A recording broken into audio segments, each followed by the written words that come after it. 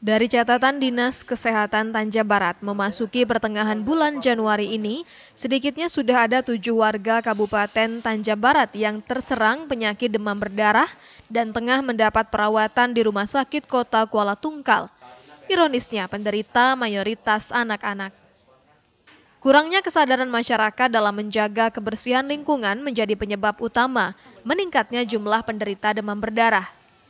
Terlebih saat ini memasuki musim penghujan, tumpukan sampah yang tidak dibersihkan menyebabkan genangan air dan menjadi sarang jentik nyamuk DBD.